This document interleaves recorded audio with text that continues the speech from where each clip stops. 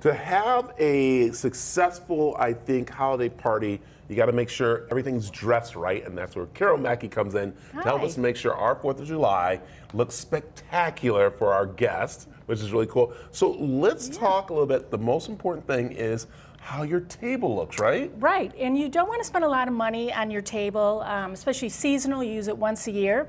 So, an inexpensive idea I have is to just layer your table with ribbon.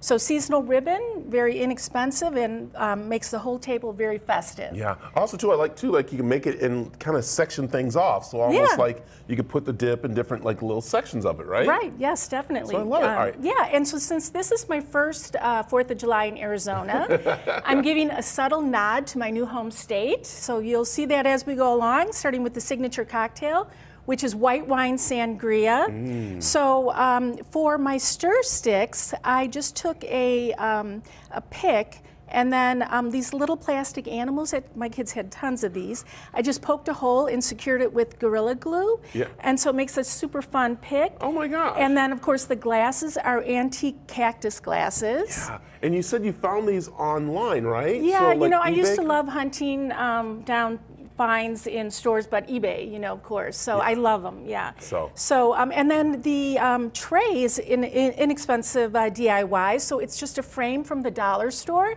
and then I put in seasonal paper.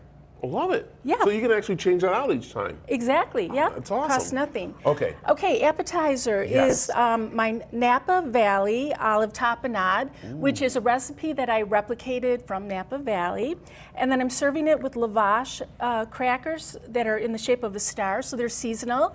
Locally, I found them here at Sprouts. Okay, I was gonna say, did you make those yourself? no, no. I make this very easy um, and you know for anybody. So, and of course, all the recipes are on my website. And, and is And- the key for this yeah. is actually when you get things to throw away the, the wrapping that you did in to make it look like you did your own because I sometimes can, pretend like it's mine and I forget the wrappings on the. yeah, yeah. Make sure you do that. All right. Okay. So, um, and then the flowers, I use fresh flowers, and d- don't be afraid to put in a little faux and a little cactus. Again, the nod to Arizona. I like that.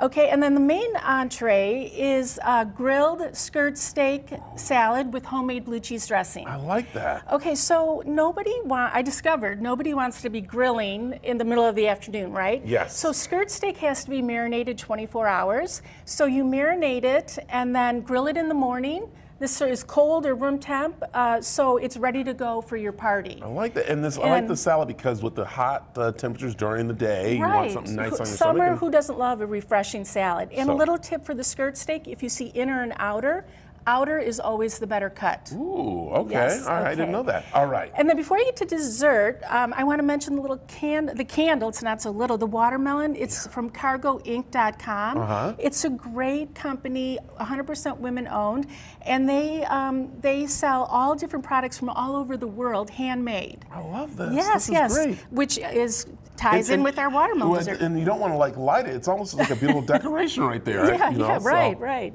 All right. Okay, so watermelon cupcakes. So I had a round cutter, and I cut out the watermelon, little um, whipped cream on top, some almonds and sprinkles, and then I put them in a green uh, cupcake uh, wrapper to sort of replicate the rind of the watermelon. Oh my gosh, that is such a great idea. so very, uh, that is So- amazing. and again, easy, very easy, and this is all great do ahead. And that's what you want for, the, of course, when you're trying to get things ready by the pool and then for the fireworks and stuff. So I. Exactly, yeah. All right, where can we find more information about all Yes, your? so I posted all the recipes because you'll definitely want to make these at carolthatcooks.com. Perfect. Carol, thank you very much. Yeah, thanks for having me. Love it.